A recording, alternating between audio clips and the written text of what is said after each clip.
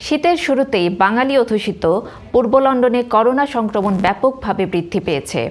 সংবাদ ছড়িয়ে পড়েছে বাংলাদেশি পরিবারগুলোতেও। বেড়েছে উদ্বেগ ও আতঙ্ক।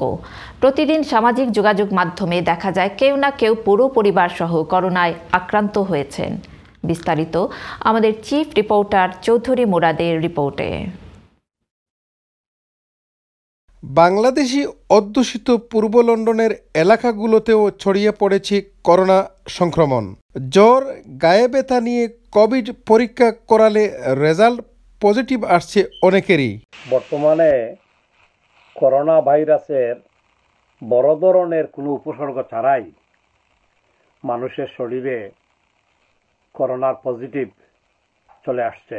যখন আমি ডুব নিতে যাচ্ছি তখন বুঝতে পারলাম যে গোড়ার মধ্যে একটা কাঁটা আটকে আছে এবং আমি খেতে পারছি না পানি খেতে পারছি না কষ্ট হচ্ছে তখনই আমার মনে হলো যে সম্ভবত এটা করোনার সিমটম হবে মনে হলো মনে হলো যে আমি টেস্ট করিনি। বাসা থেকে বেশি দূরত্বে না টেস্ট সেন্টারটা হেঁটে হেঁটে অনেক কষ্ট হয়েছে যাইতে এবং আসতে।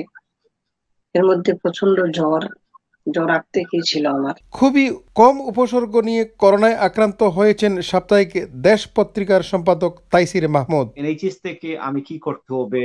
আমার অসুবিধে কি? এই ব্যাপারে ডিটেলস তারা আমাকে জিজ্ঞেসও করেন নাই কিছু বলেন নাই। তারা বারবার যেটা এমফেসিস করেছেন যেটা আমাকে তাগিদ দিয়েছেন সেটা হচ্ছে আমি যাতে বাইরে না যাই আমি যাতে আইসোলেশন নিয়মটা পুরোভাবে মেনে চলি এবং পুরো ফ্যামিলির সদস্যরা যেন আইসোলেশন মেনে চলে। সেলফ আইসোলেশন থেকে এনএইচএস এর চিকিৎসা সেবা নিচ্ছেন এনাম চৌধুরীও। জিপি থেকে আমার রিপোর্ট পজিটিভ আসার পর তারা বারবার যোগাযোগ করছেন আমি আইসোলেশনে আছি নাকি না? কোনো ধরনের হেল্প সাপোর্টের দরকার কিনা বা আমি কোনো সাহায্য লাগবে কিনা তারা আমার সাথে যোগাযোগ করেছেন প্রতিদিনই। নিজ ঘরে অবস্থান করে করোনা ভাইরাসকে মোকাবিলা করছেন বাংলা গণমাধ্যমের এ দুই সাংবাদিক। আমার ওয়াইফও কিন্তু উনিও আগে অসুস্থ ছিলেন। সম্ভবত ওনারও করোনা হয়ে চলে গেছে বাচ্চাদের ছিল। তো উনি আমাকে যেটা করেছেন যে সবসময়ই একটা ফ্লাক্সের মধ্যে গরম পানি কুচি কুচি করা আদা ওইটার মিশ্রিত গরম পানি সবসময় রাখতেন। আমি টাইম টু টাইম ওগুলো খেতাম paracetamol.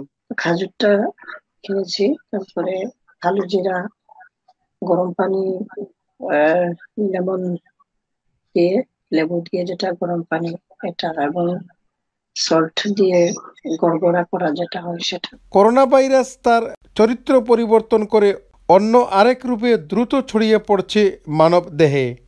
Chaudhry Murad I T V news London